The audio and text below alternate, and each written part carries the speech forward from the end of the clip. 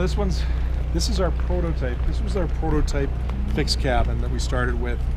Uh, it's on a 2014 Sprinter 3500 cab chassis. Uh, this was started. It's embarrassing. We started it in late. It was November, December 2016. Oh wow, it's been out a while. It's well Been being built for a been while. being built for a while. It's something that we've just Yeah. been doing. Uh, my business partner and myself, whenever we had spare time, we'd work on it. With everything else we've had going on, we just haven't had a lot of time to, to deal with it. So we finally ran it through the shop here. It just came out a week ago. Uh, It's, it's embarrassing, but hey, at least you is. took your time and did it right. Yeah. it, it's a prototype unit of our fixed Yeah. cabin. We Prototypes. for our production uh, 2019 uh, fixed cabin. We've made a number of big changes to this fixed cabin. Cool. So, let, us go from front to back and, and educate the folks on what this is, because there's a lot of guys out there that may not even know what this is. Right. So, engine, uh, four wheel drive, all that stuff. Talk about sure. that first. Well, actually, uh, this is the again, it's the Sprinter cab chassis. So in North America, you cannot get a four-wheel drive Sprinter cab chassis. You get a four-wheel drive van, but not cab chassis. That's right. So Yeah. you're gonna shout out to guys at like White Feather, uh, Univan. Uh, those guys are able to do four-wheel drive conversions on these. I think they're somewhere. Don't quote me on this. Somewhere between $25,000, $30,000 respectively, U.S. Uh, to make the conversion. This one is still a two-wheel drive. We have Okay. Not, we have not done the conversion. Um, the cabin itself, it's about 13 and a half feet long Mm-hmm. standard are, are seven feet wide. We, we really stick to that seven feet wide. It doesn't matter what we're doing. Mm-hmm. This trailer is seven feet wide. Uh, What engine's in here, by the way? Oh, sorry. Uh, it's the uh, it's the V6 diesel three liter. Is it a so it's turbo diesel? Yes, it is. Yeah. Okay. Awesome. Yeah. And you know it's uh, it's a very capable little motor. Um, Oh, yeah, got lots of torque. Yeah. I, I Right? could use some help on the torque end, quite honestly. Really? But um, outside of that, though, it's not, it's Yeah. not so bad. It's not so bad. Video bombs here. But uh, so we brought down to the show. The reason we brought down to the show is again to show people what we can do. Yeah. It is a prototype, so it's got some mistakes on it. Uh, some folks can find them, most can't. and, uh, Gotcha. but we're, we're selling it down the show here. We're selling Cool. it for 150,000 Canadian. We're just gonna recover our costs out of it, Uh huh. and then we're taking that. That's funding our prototype for the 2019 production model. Cool. Let's let's fly around the outside and then work our way Sure, inside. good. So first off, I already noticed you guys already put some beefy tires on there. That that always that's always Yeah, a good start. Yeah, we're big fans of the uh, the the KO2s. A little more grip. Uh, I love that rack too, by the way. Holy crap, you. that's a beefy rack. again, with everything that we're doing, anything that's added on the outside, it's all aluminum. There are no steel products used. I, I remember uh, on the TDK Yeah. saying that that rack system was just insane, and you guys carried that over to this as well. Exactly. Actually, every product, whether Oh, you guys all have those racks. Whether okay, it's a awesome. sprinter, where it's a, a removable cabin, it doesn't matter what it is. Uh, it's the same. You'll see the same style roof rack on everything. That do. is cool. Yeah. Very cool. Under underneath, we've got uh, aluminum underdeck cabinets for storage. Loads of storage uh, Mhm. underneath this thing. So the the cabin itself, again, I said 13 and a half feet long for the cabin, seven feet high, seven feet wide. Those are all external dimensions. Nice. So inside, six foot 8 by Mhm. six foot eight. Tons of room. Lots of room. Lots of room. Nice big windows too here. Bring the outside in. Absolutely, absolutely. Um, you've got you, you can pull out your cartridge for your porta potty right here. Uh, this is this is one of those. This is the you know this is again it's prototype. It's something that we had originally designed, and then we we changed it. So now you got this little mystery box, right? But that's prototype. Yeah, that's what happens when you build a prototype, right? Exactly. So again, aluminum ladder, uh, steel bumper, not aluminum. I did say all aluminum on the outside. Uh-huh. It does have the steel bumper. Uh, we manufacture all that stuff in house. Mhm. Powder coat in house. We upholstery in house. We wire, we plumb, we fabricate, we weld, Uh-huh. cut, we form. And rem- remind the guys where you guys are from again. What city is it? We're in Red Deer. Alberta. Red Deer, Yeah. Alberta, Canada. Smack dab between Edmonton and Calgary. Nice. Let's take a look uh, on the inside and Sure, see what's going on here. By the way, look at this ladder. By the way, this thing is. Look at that. Anytime your foot's going to be going onto something, Uh-huh. we use anti-skid powder. This is actually Oh, that's right. It's Yeah. glass or rubber. That's why it glitters as it does that. That's all the glass. You foot's not gonna slip off. You can exfoliate skin with that. So, but you're not. Yeah, you're not gonna slip. Your foot's muddy. It's raining. It's whatever. Uh, You're safe. safety first. And this is strong, right? Like this Yeah. is. It's not going anywhere. It's like industrial grade, man. Exactly. My depth tank. Manual stairs. We don't do electronic stairs. Because the electronic can fail. It can fail. Yeah. So everything we we try to keep it as simple as possible. Keep it simple, stupid, right? This door is a worth talking about as well. Double latching. It's an ambulance door for the ambulance, Ah, nice. but very robust, very strong. Well, come on in.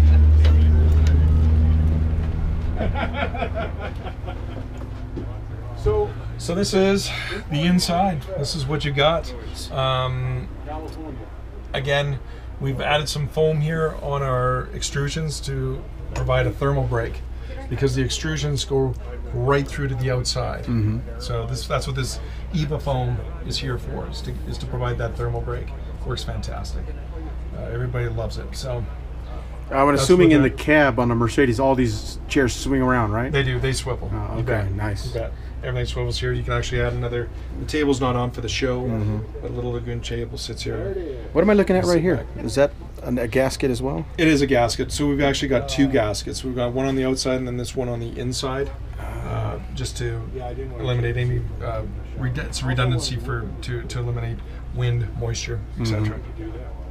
It's it's very nice to open, nice easy pass through. Yeah, nice big open space. It does, yeah, it's, it's nice. So again, with all of our cabinets, same old thing, right? Starboard doors, aluminum positive closed latches, uh, lots of storage. You got a nice wardrobe closet there. Nice big hanging closet. You betcha. Yeah. And the you got to you got to check out this galley. I mean, it is I like L this shaped. wood. Look at that.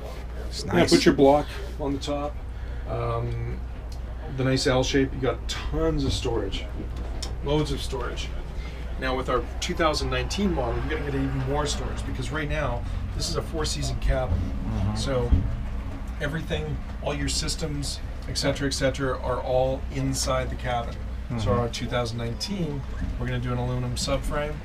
We're going to recess things like water, your fresh water, your gray water, batteries, etc., down into the frame of the vehicle. So lowers the center, helps lower the center of gravity of the vehicle as well, mm-hmm. but also gives us more the, the ability to give give the customer more storage inside, which is a really nice feature. But again, it's all the same. It's the same everywhere. It's it's it's all the same stuff. Nothing has really changed. Aluminum cabinetry, all powder coated. Uh, it's gonna last you forever. This one's got a really interesting bathroom. wow. This is a- that is It's, awesome. a, it's a dry bath. It's not a wet bath. So if you, Yeah. come, if you come past me, you can actually see the sink on this side. that is Like it's it's sweet. so you got a little sink so you can brush your teeth, shave, all that good stuff, You bet. And you don't have to worry about everything getting all wet because you have a separate shower. Yes, and if That again you're nice. so floor to ceiling inside, you're six foot eight. So even with that shower, you're going to lose about six inches there. So six foot two, six foot three, uh, you've got ample room inside that shower. That is nice. What, what is that? Redwood down there? Teak. Teak. Oh, Yep. there we go. Yeah, teak's got lots of oils in it, so it never rots. That's right. But uh, and then over here, lots of storage above the uh, above the bed. It's just an oversized double. That's what you've got here. And going up, Oh wow. Storage. lots of storage. So you got the removable tote. You take that in the house with you. Got your laundry, whichever. Underneath here, you'll see your. There's your Webasto dual unit uh, hot water and uh, uh, cabin heat all in one. Very nice little system. Lots of storage. Additional storage down on this side. Uh, that's what the table's sitting right now. But all your systems, see, that's what I'm talking about. In Is this that a one, water tank? Yeah. You How many gallons is that? Uh, the fresh one, I think you're 56. Woo. 56 on this one. Yeah. Yeah. So actually, on our our 2019 model, we'll probably get more Mm-hmm. more water than that because we've got more space to work with underneath. The, that's that's basically Water. what limits your time out in the back country is how much water you can bring, right? You're right. So the more You're you right. bring, the more longer you can stay. Exactly. Very cool. But all those systems will be gone away. So you're going to gain so much storage now Mm-hmm. for 2019. We're pretty excited about it. as are our customers. We got we got some customers who are just waiting for that one.